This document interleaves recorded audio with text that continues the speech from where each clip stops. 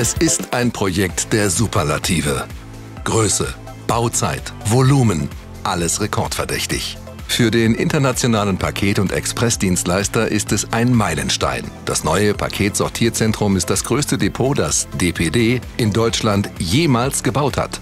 Mit 50 Millionen Euro stellt es auch die größte Einzelinvestition dar. Und es steht natürlich in NRW. In Hamm wurde der Standort der Superlative in nur 16 Monaten fertiggestellt.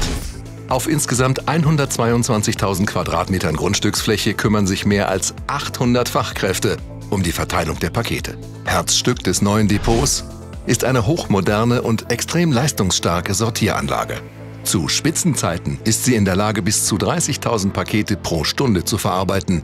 Am Tag sind es bis zu 200.000. Wir sind stolz auf unser neues Paketsortierzentrum hier in Hamm. Unser Depot zeichnet sich durch eine besonders energieeffiziente und nachhaltige Bauweise auf.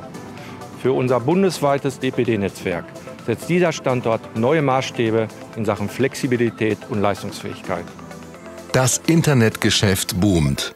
Um die steigende Nachfrage zu bewältigen, bedarf es passender Infrastruktur. Der Standort Hamm versorgt nicht nur Kunden in der Region.